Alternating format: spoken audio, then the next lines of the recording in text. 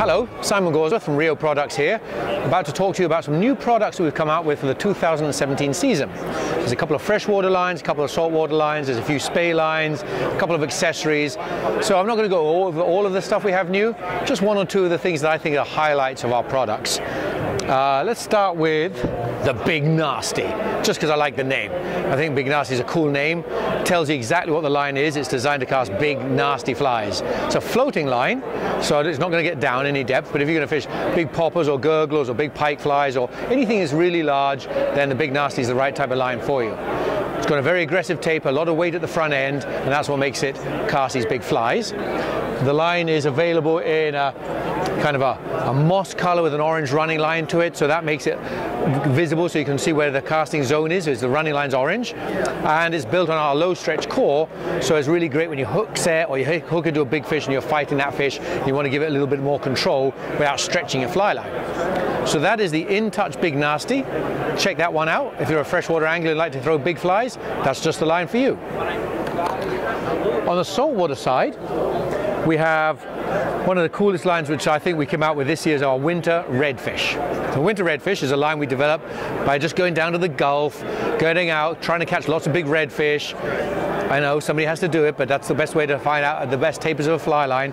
So we went down, took a couple of trips down there, tested out various tapers.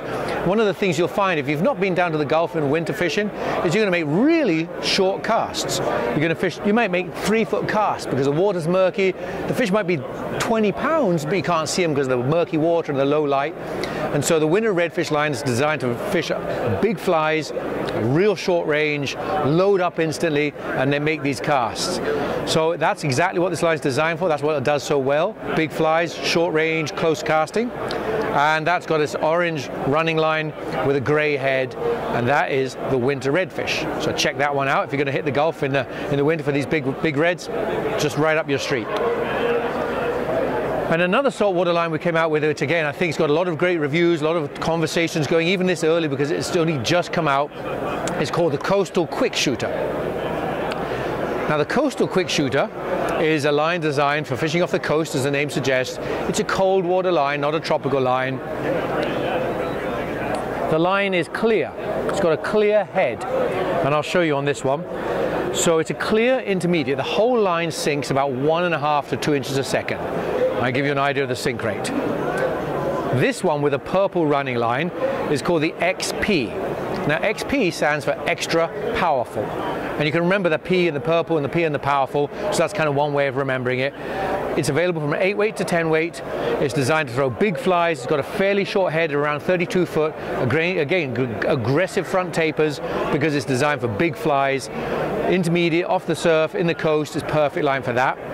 Sinks about one and a half to two inches a second. And again, with that clear head, it's ideal when you get a little bit cooler light or lower light and, and spooky fish and maybe calmer days when the fish are really a bit more spooky but it's also available in a non-XP version. So the XP is the purple, stands for extra powerful. And if you want the other version, this is a chartreuse color. So the running line is chartreuse. The head is still an intermediate. It's still clear.